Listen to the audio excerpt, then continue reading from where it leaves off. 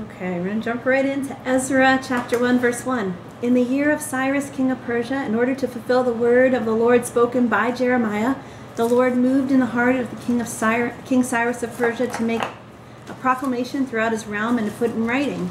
This is what Cyrus, king of Persia, says The Lord God of heaven has given me all the kingdoms of the earth, and he has appointed me to build a temple for him in Jerusalem and Judah. In Judah, anyone of his people among you May his God be with him and let him go back to Jerusalem and Judah and build the temple of the Lord God of Israel, the God who is in Jerusalem. And the people and the people of any place where survivors may now be living are to provide with silver and gold and goods and livestock and whatever free will offering for the temple of God in Jerusalem. So then we're told that everyone who God had placed on their heart to go back to Jerusalem uh, were free to go back to Jerusalem. And not only that, if you keep going, verse 6 all their neighbors assisted them with the articles of silver and gold and goods and livestock and valuable gifts in addition to free will offerings. So their neighbors gave them valuables to bring back.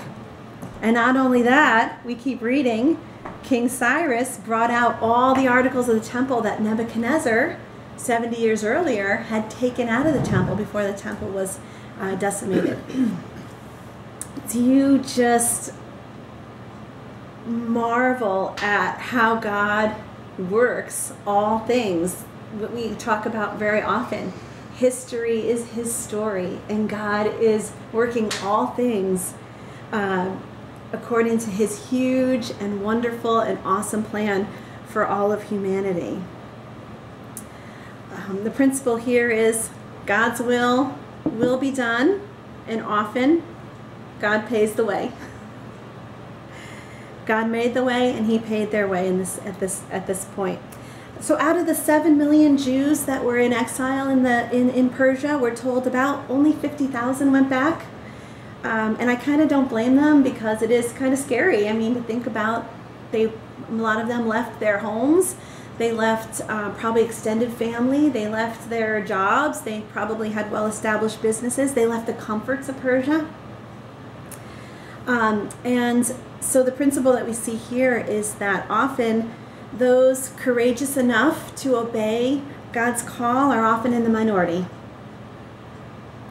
And we also learn too from these courageous Jews that obedience to the Lord sometimes means that we're going to be less comfortable and more fearful but that's an okay place to be because there's nowhere better than to be in the hands of your loving Heavenly Father who will never leave you, He will never forsake you. He has plans to prosper you and not to harm you. Um, and even through difficulties, God will give you the courage and the comfort, right? And you will see His purposes come to fruition both in you and through you, all for His glory. God will build your faith. When you obey Him, He will build your faith and He will refine your character through your circumstances, and it's all His doing.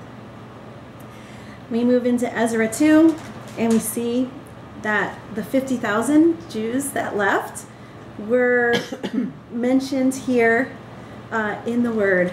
Um, so God gave, God honored their courage and their obedience by allowing for their names to be written in His uh, His holy Word.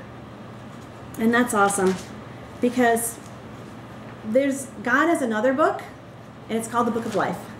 And we who have given our lives to Jesus, that have trusted in the forgiveness of our sins, uh, in Jesus at the cross, uh, for all who have asked Jesus to forgive their sins and to make him their Lord and Savior, uh, we are all written in God's book of life. And what an honor and what a privilege that is. And we kind of like the exiles here, these um, exiled Jews that are going back to their homeland. We're kind of exiled also because this world is not our home. We know once we we we are God's children, our home is in heaven, and we are kind of making our way back to heaven. And God has work for us, just like He had for the Jews to go back and rebuild. He has work for us. We are told in Ephesians 2, verse 10, that we are His workmanship created in Christ Jesus for good works that God has prepared in advance for us to do. And for us who are able to um, walk through those good works, for God to do those uh, good works for us, that when we obey God in doing the good works that He has ordained for us to do, right, we will bring glory to Jesus in eternity, uh, in heaven for eternity. Um, and that's what, what it's about, right? Because Jesus commanded us in the Sermon on the Mount to be more concerned about building uh, treasures in heaven rather than treasures on earth. So God has work for us to do here.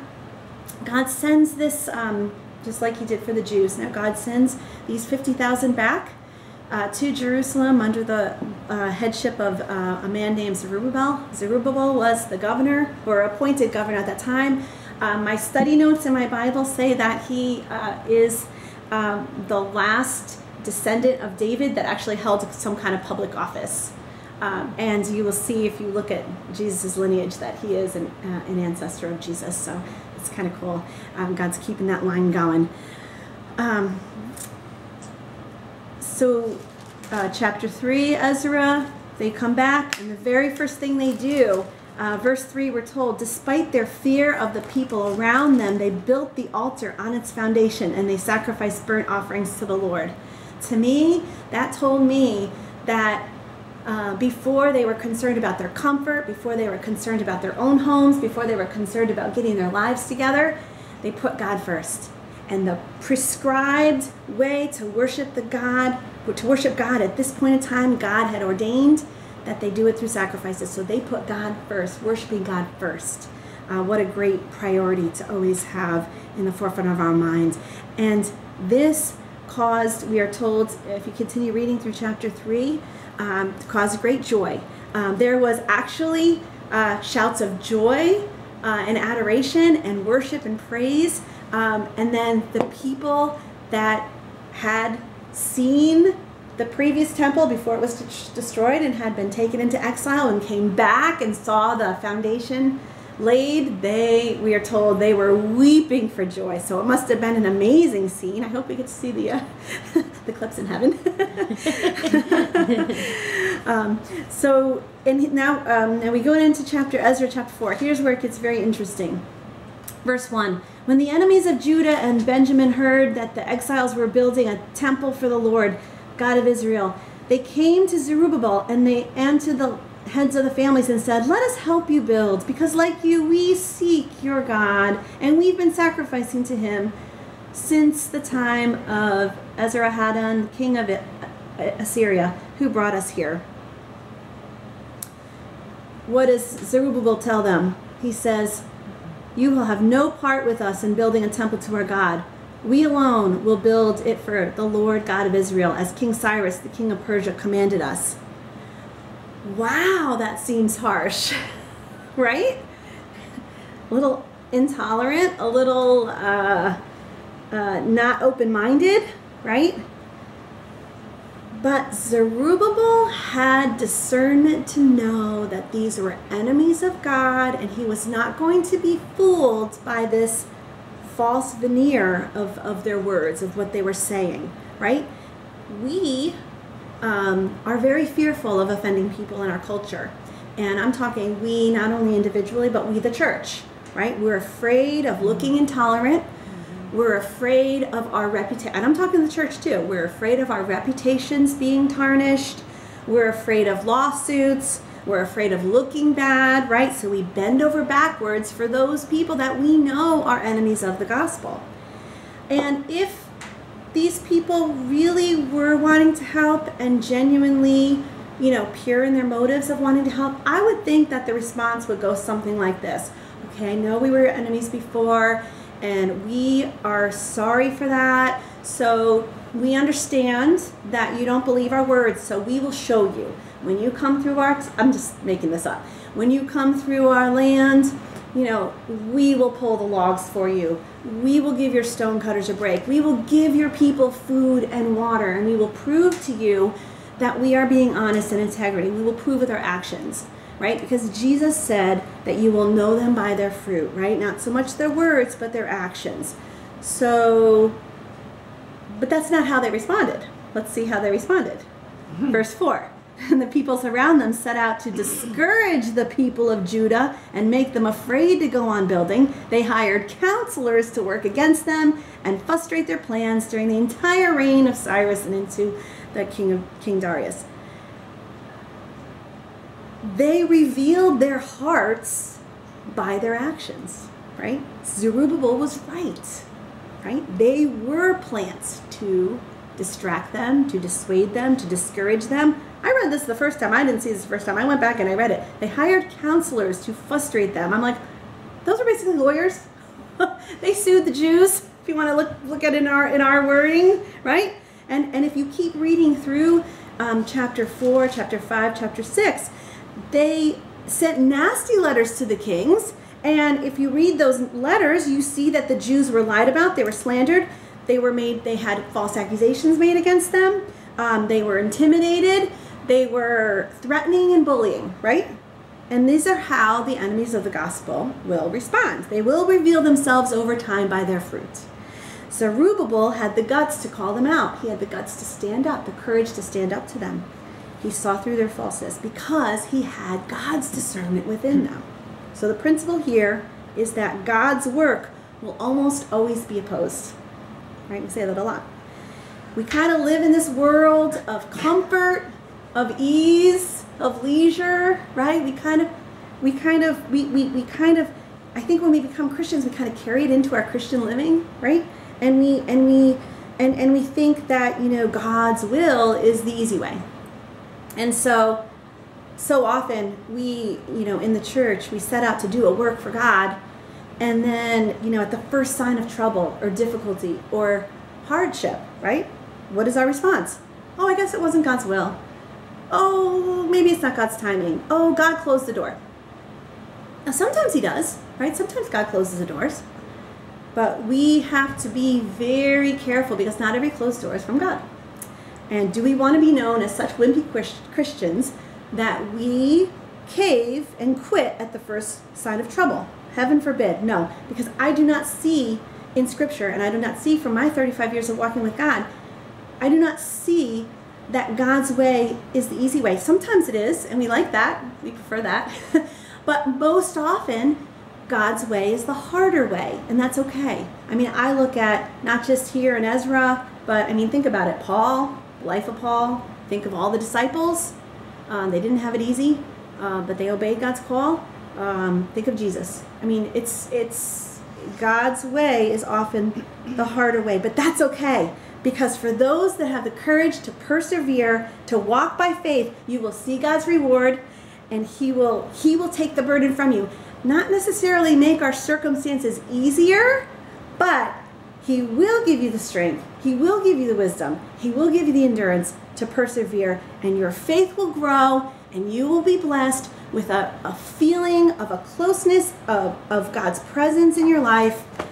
Um, and His peace and His joy will be upon you, and you will feel the power of the presence of the Holy Spirit I work in you. You will get to the end of the job, and you will look back and you'll be like, oh, I don't know how I did that because I I know I didn't do it. I know God did it through me because I couldn't do it. I wanted to quit, you know. and, and God will take you to new heights of faith. He will find you faithful in smaller things. He will give you bigger things to be faithful for, and your faith will grow and you will soar. And your eyes, God will take your eyes and put them on eternity uh, where He wants them. You will set your focus on the King and His kingdom. Um, and you will see that that it's not even about the doing for God, but it's more about the being that you are God's loved, beloved, uh, holy child, and you will that will make you want to glorify him more the more you feel his presence and you feel his love and his care for you then you will then want to glorify him more and you will find more enjoyment in him and it's a wonderful positive cycle. Um, and you will find that you are, are fulfilling your created purpose that you are uh, that we are to glorify god and enjoy him forever. So you will find great joy in walking with him. When you walk with jesus and you obey the call you will be lied about. You will be falsely accused. You will have complaints lodged against you you will be slandered. You will be persecuted. You will have your words taken out of context and twisted to mean something that you didn't mean it to mean. And that's okay because the longer you walk with god the more you will see that in a way it's almost like a, a weird like confirmation like yeah, I am doing God's will because they're trying to stop me. So you will have, God will use that opposition as an assurance that you're doing the right thing in God's eyes. Now, just a word of caution. you have to make sure you have to like you have to like really humbly search your heart to make sure that that that that you know when people are coming against you that it's not you that it's not like you being a knucklehead or not your flesh you know because if i'm rude to someone and they're rude back to me i'm just getting what i deserve you know and so i've had situations where you know if i feel this tension or i feel this like opposition or something's going on like i have many occasions i've gone to that person to be like you know, I'm kind of feeling something between us, and I just want to make sure we're good. Like, is there anything that I've done to offend you? Is there anything that I have to seek forgiveness for? And if there is, like, I totally apologize. Like, I, you know, just will right then and there just try to make it right. But then if they continue to be, uh, uh, you know, opposed to you, then you know, okay. Or if there is nothing, then you know, okay, you know, this is this is this is the work of God, and it's not me. And you just have to you know, have the, just like you were talking about right before we started, just to have that peace, like, you know, it's kind of on them, and, uh, you kind of feel bad for them because they're in a rough place with God. Um, so um, the good thing is to know that Satan's strategies to discourage us from the will of God, to dissuade us from the call of God, to cause us to doubt, to despair, to fear, to be um, paralyzed by our fear and anxiety, uh, those strategies that the enemy has has not changed for thousands of years. Well, almost 2,500, or maybe more than 2,500 to be exact here, right? And they're very predictable. Satan's schemes are very predictable. And Zerubbabel showed um, to be a man of incredible um, discernment for God's will, and he knew, uh, and he also had the courage um, to stand up to the enemies. So, what do we do when we hit opposition? Like I said, you know, first of all, you know, you have to search your heart and you have to really humbly self examine to make sure it's not something. And sometimes God will put it on your heart, like, oh man, I may have offended that person, and then go to them and ask for forgiveness. Um, then see, search God's heart because often, you know, God uh, will put something on your heart, uh, uh, something to do for Him. And um, and again, like if God is going to close the door, and sometimes God closes the door, I think because He wants to test our hearts and make sure we're willing to obey Him. But a lot of times I think that what we call closed doors aren't closed doors. So um, we like to say, like, okay, you know, you have to be 100% sure in order to abandon your post. You have to be 100% sure that that's God. Um, so um, that takes a lot of discernment. Um, and um, a lot of times, you know, one of the things, so it also takes a lot of discernment to know, well, like what we're talking about, like when do I stay and fight and when do I let go and let God deal with it? And that is a great question, requires a lot of discernment and it's a it's a skill that we develop as we go on in life. What fights are those that we are we are to fight that God wants to fight through us? And what fights are not our own. And I think we in the church, that we grow up in the church and we we we tend to I think we tend to fight the battles that are not ours to fight, and then we run from the battles that maybe God wants to fight through us, and that causes an immense amount of stress in our lives. Mm. Um, so again, we need discernment, knowing when to, to we need we need that godly discernment to know what what battles are ours, ours to fight, and we need, and when I say discernment, I mean we need um, God's wisdom to be able to apply His Word to our circumstance and leave the results to God. That's very important. So we'll get more into that. So, what are the principles to building discernment? You know, again, so again, don't abandon your post until you're absolutely sure that's God's will. Practice the principles of abiding in Christ. Go back, read John 15. Jesus said, I am the vine, you are the branches abide in me. Now, why? The branch needs to abide in the vine because the vine is the one responsible. The vine takes the nutrients and the water and what the branch needs from the ground and delivers it to the branch so that the branch has what it needs. It has energy, it has nutrients, it has life to produce fruit. Um, and the branch's responsibility is to hold on. So that's what Jesus is saying. Jesus, it's Jesus' responsibility as we stay stay attached to Him, He will provide everything we need for life and growth and bearing fruit. Um, and how do we do this?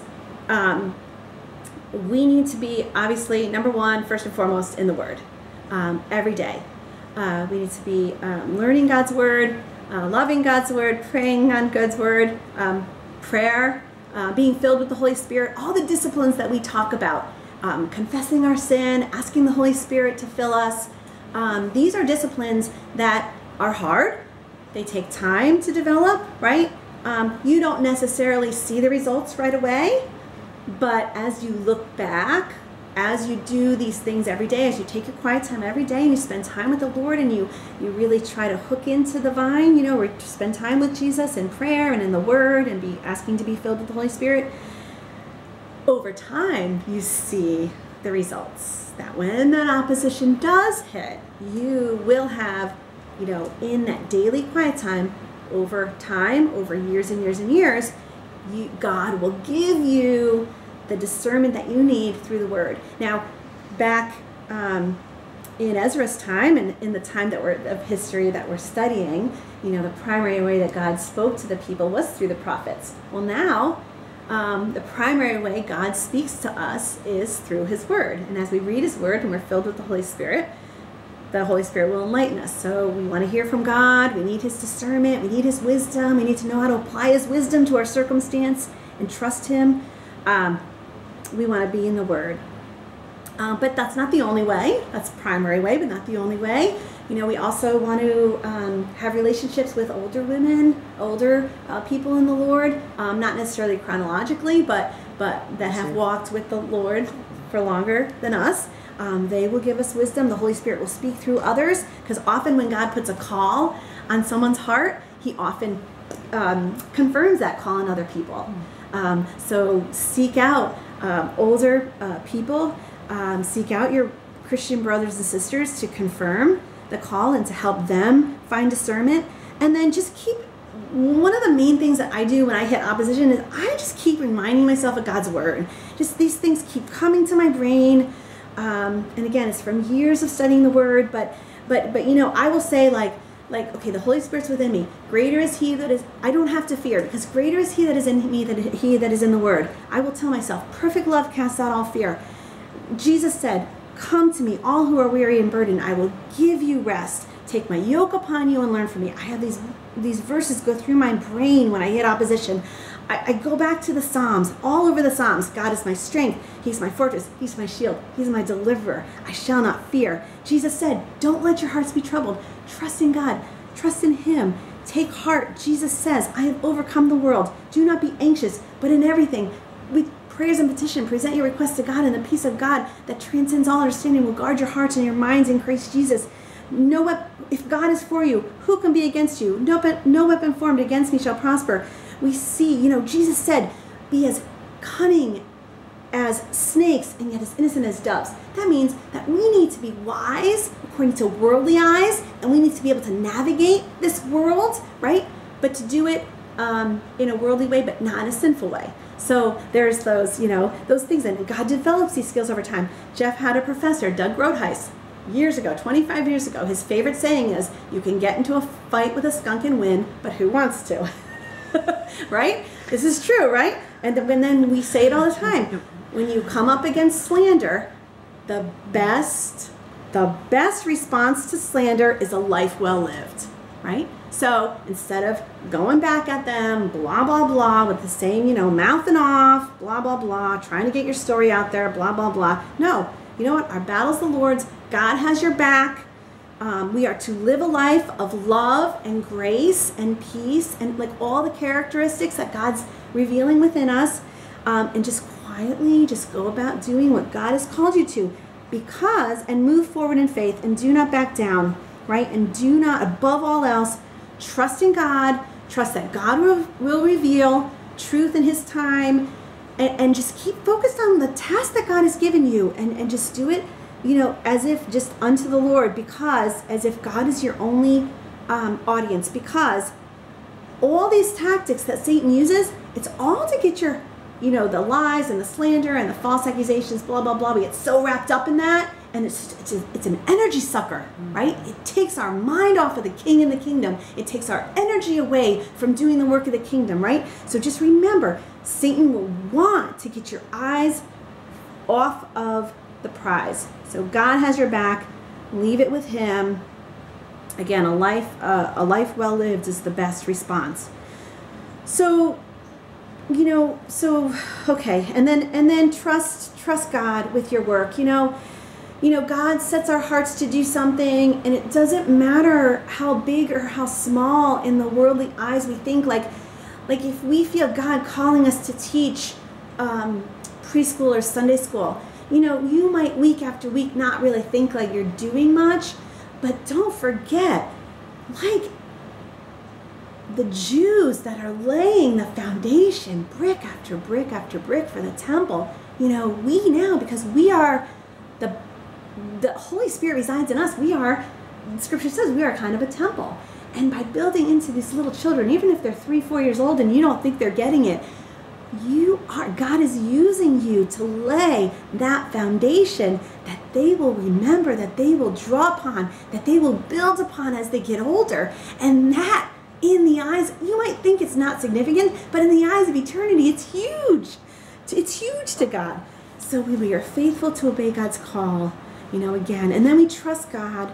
You know, when, when you're faithful, you faithfully obey God's call and you trust God with the results and trust that it will bring glory to Him uh, in heaven for all of eternity. Okay, so back to Ezra. Over time, um, they did get worn out, and I can't remember how many years, but we are told that the work of the house of the Lord did come to a standstill. Um, so it was a number of years um, enter in Haggai. Um, now, Haggai was not the only prophet um, trying to motivate the Jews to get back to work. Um, and that's why it kind of seems weird. We're going to start Zechariah next week. I think it's next week. We're going to start Zechariah and then we'll come back around and finish with Zechariah. But the reason we're doing Zechariah next week too is because he was also preaching during the time, this time, alongside Haggai. So both of them were working to motivate. Um, so, so we look at Haggai and what an amazing book it was. And for the sake of time, we're going to go really fast. So I hope that um, we can draw more out in our discussion. Um, so Haggai, he he he comes. He's called by God, and you know he comes to Zerubbabel and um, the high priest Joshua and the leaders, and he's like, "Look, what is going on? Is it this the time that God has called for us to rebuild His home? Why are you building?" Uh, your own homes when God's home is in disrepair, disarray. So he's like, look, give careful, so I'm in Haggai chapter 1, give careful thought to your ways. Like, he's like, think about what's going on. Okay, so you're focusing on yourself, and he basically goes through this like litany of things that they're doing, and he's like, look, you're planting, but you're not harvesting. You're thirsty, but you're not having, you're drinking, but you're not having your thirst filled. You're working, but you're not earning wages enough to live. Like he's like, look, God's trying to get your attention. He's trying to to get you to to turn and, and, and get back in line with with God's will, with God's God's um, plan for you. Um, so so um, Haggai comes and he's like, look, he reminds them, look, um, he's like, look, God says God is with you. The Holy Spirit is moving within you. Chapter two, he's like, be strong, do the work that God has coveted with you. And then he says in verse 9, chapter 2, the glory of this present house will be greater than the glory of the former house. And then he goes on at the end to say that, you know, to Zerubbabel, that you are the signet ring. You are the one chosen by God. And I, I to do this. And I think really, you know, what he's basically saying and what my, my study notes say is that Zerubbabel, you are um, you are um, an ancestor of the Messiah. The Messiah is coming the reason that the temple that you are building is going to be greater is because the chosen one, the Messiah, Jesus is going to come and he's going to stand in this temple. So so keep going, keep pressing on. That's that's kind of my take on it.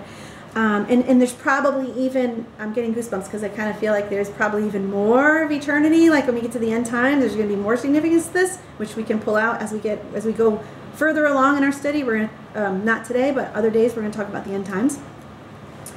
Um, so, so, um, okay, so, um, to Ezra.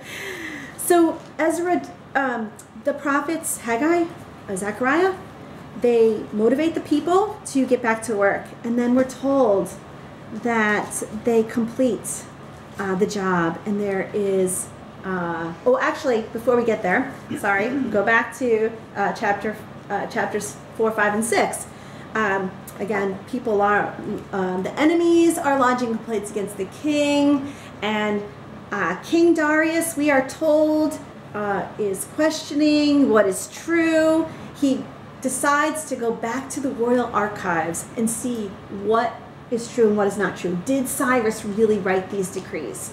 And sure enough, God, in his greatness and his sovereignty, caused Darius, King Darius, to look at um, the exact decree. He'd be able to find the decree that Cyrus wrote, and then he was able to say, oh, wait a minute.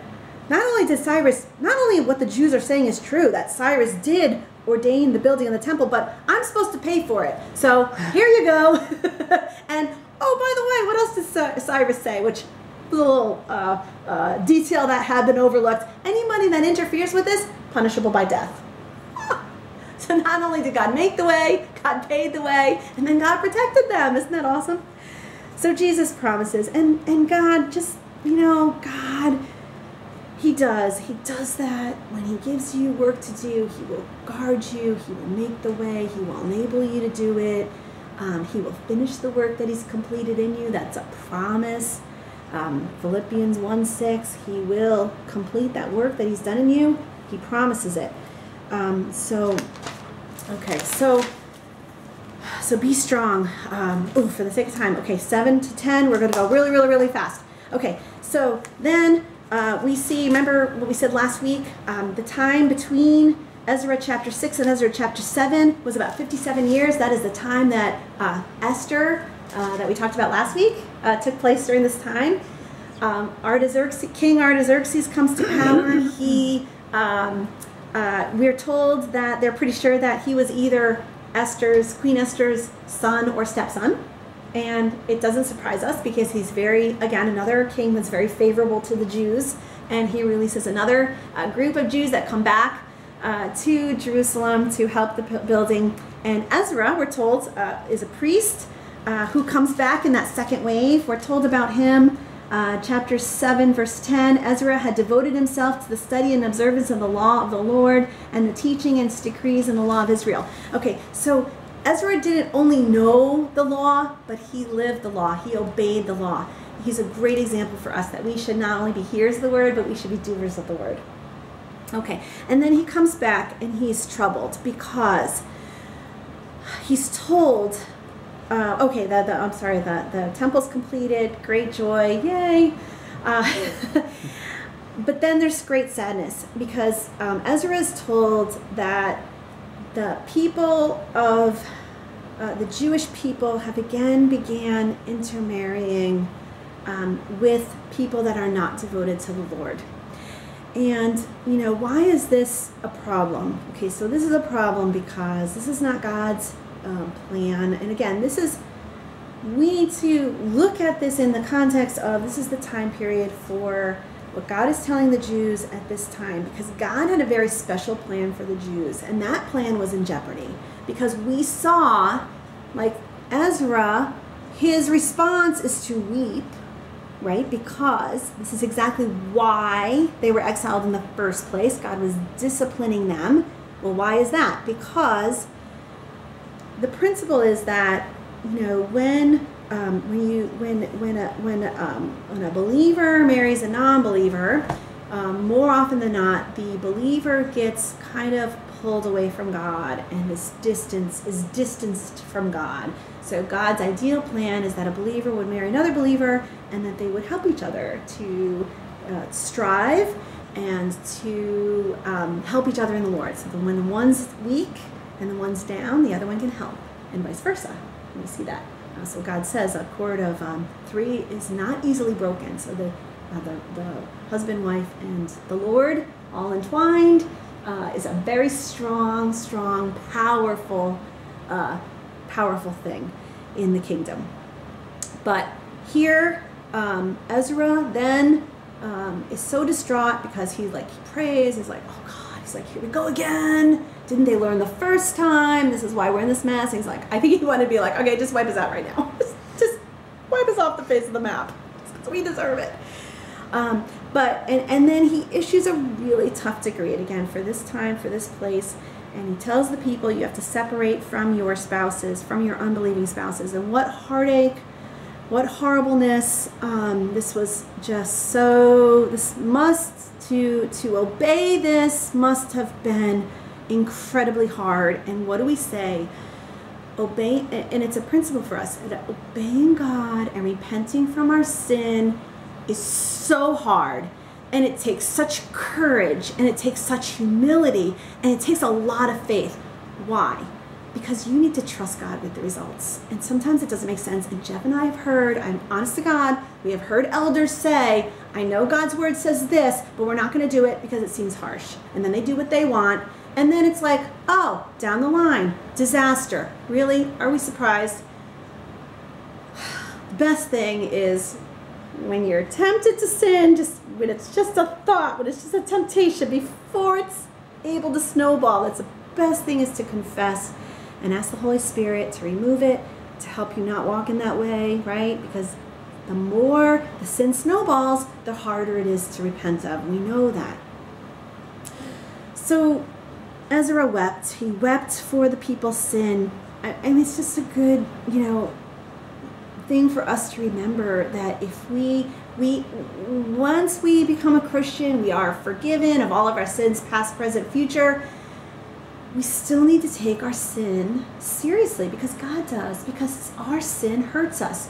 Our sin, even as a believer, will cause harm. It will cause sorrow for us down the road. It will cause sorrow for other people will sorrow for us. It will cause sorrow in their our sin will cause sorrow in their lives as well. Um, so again, to just to be able to root it out, because our sin, if we keep persisting in it, it will cause us to be frustrated, it will cause us to be unfulfilled, um, and again, it will bring a lot of sorrow. Um, so the people were told, um, they obeyed, they had the courage and the faith to obey, and I really believe that God used that down the line to prevent um, a lot worse consequences. Okay, so overall, the message of Ezra and Haggai God is at work in us and through us. He has work for us to do. God's work will be opposed. We need to be prepared for that, not surprised by it, right? And God, you know, we need to be discerning. We need to stay attached to the vine because it is through the Holy Spirit that He will give us the wisdom, He will give us the discernment, He will give us the energy, the power, whatever we need uh, for life and for uh, obeying the call, that perseverance that we need. We need to be strong. We need to not give up. We need to have courage. Um, uh, he will uh, uh, he will fight for you. Um, and as you honor him, even if you feel like what you're doing for God fails or, or you're disappointed in the outcome, again, God's not disappointed. God knows. God will take your faithfulness and your heart and the things that you set your heart to do, and He will make great things, great um, uh, glory for Him in eternity. It's more about eternity. It's not about what we see here, right? We serve for an audience of one. Seek to glorify God. You will find great enjoyment in that. Walk by faith. Trust Him with the results, right? He will make the way and He will pay your way. Amen? Amen. Amen.